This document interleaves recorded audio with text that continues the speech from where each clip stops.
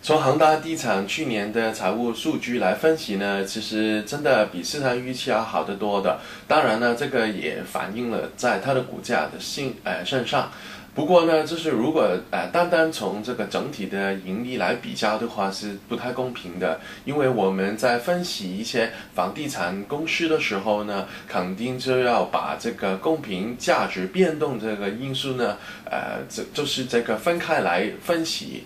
呃，从这个核心的这个盈利来分析，才有一个比较明明显的这个啊这个看法。啊，从这个恒大地产，当然呢，就是扣除一些我说就是平均价价格的变动的这些因素之后呢，这个呃核心的纯利呢也有啊五十五亿一千万，其实这个表现是非常好了。当然呢，就是从他们过去深圳的一些土地储备。呃，很多就是在这个呃三线城市的，比方说，呃深圳的这个土地储备里边有差不多呃百分之五十一也是在一些呃三线的城市。呃，我的看法就是啊，在这个财呃财报